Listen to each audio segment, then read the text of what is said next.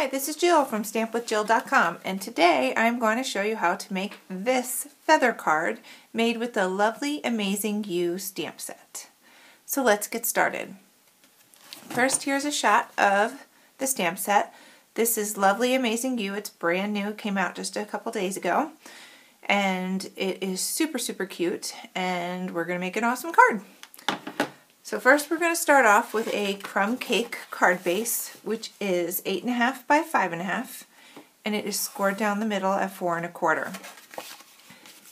Then we have an early espresso layer, and this is 4 by 5 and a quarter. And then we have an Irresistibly Yours designer paper. This is Celebration, so you can earn this for free with your $50 purchase. And that is 3 and 3 quarters by 5.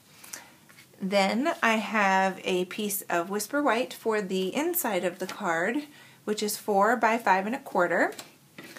And I have a piece of Whisper White that's two and a half by three, and an early espresso layer, which is three and a quarter by two and three quarters. And you can see that layer's right on. So let's get started with stamping. So first I'm going to stamp the feathers, and because this stamp set is photopolymer, we're going to use the Stampin' Pierce Mat for a cushion. The ink that I have today is Crumb Cake and Early Espresso. So first I am going to stamp the feathers.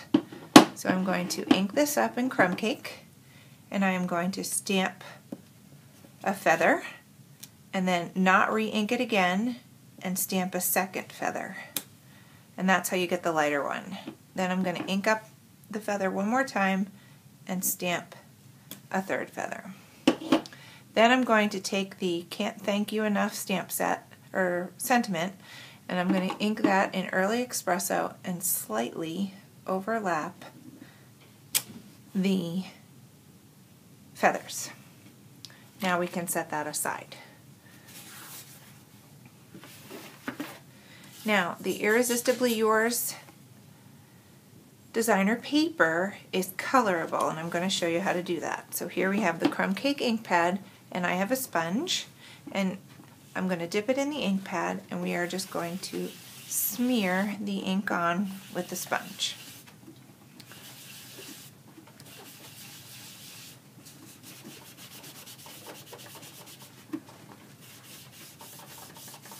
And the shiny part of the designer paper resists the ink.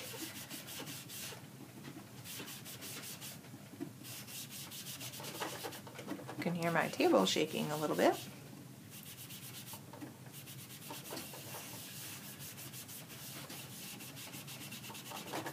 Okay, there you have it. So now you can see that it's fully colored. Okay, so and let's stamp the inside of the card. So here's the sample again so you can see it one more time. And here's the inside. So I stamped a few feathers on the inside. So let's go ahead and do that. Again, this is crumb cake ink. You're only really using the espresso for the sentiment. So I stamped a feather, and then before re-inking it, I do a lighter feather. Okay, so now we can put the card together. So here's our crumb cake card base, and I'm going to go ahead and tape that inside layer. So I have my snail adhesive.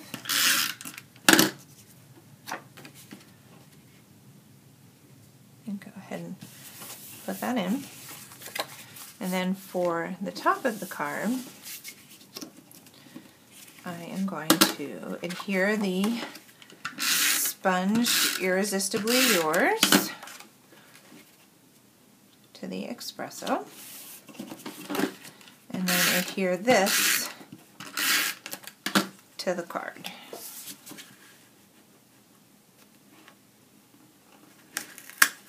Get that straight.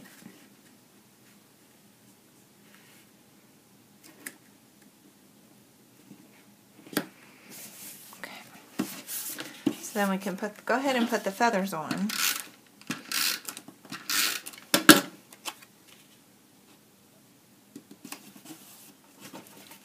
And I'm going to use dimensionals for this panel.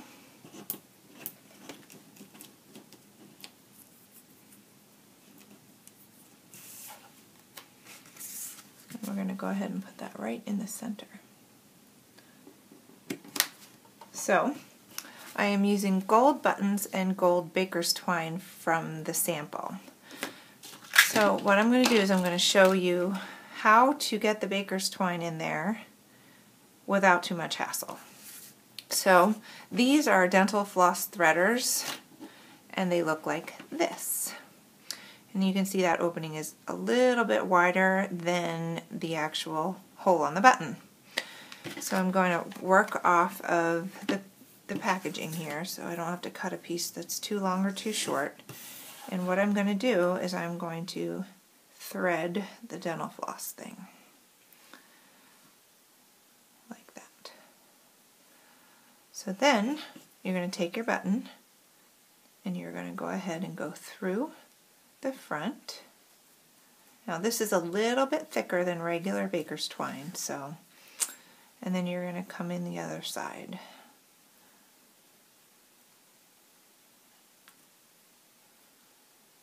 It's kind of thick coming through, so apparently it's knotted too and twisted. So once you go ahead and pull that through, then you have this nice long tail and you can go ahead and trim it and then take this off. These break, so you want to have a couple extra on hand, but you can reuse them.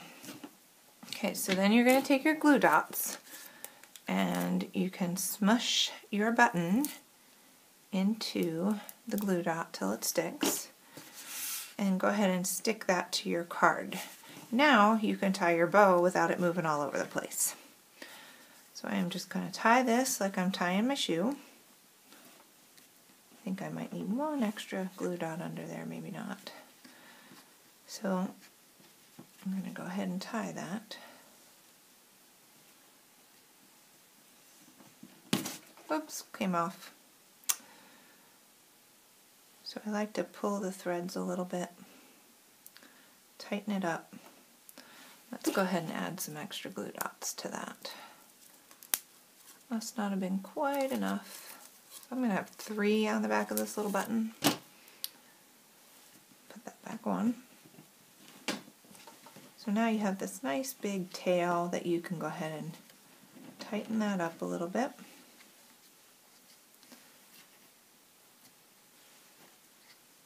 untwist your little loops of your bow and then go ahead and trim. I like them a little bit longer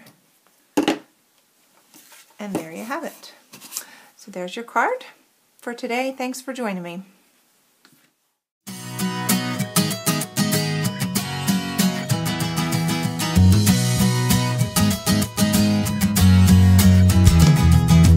Hey, if you wanna play, make it about a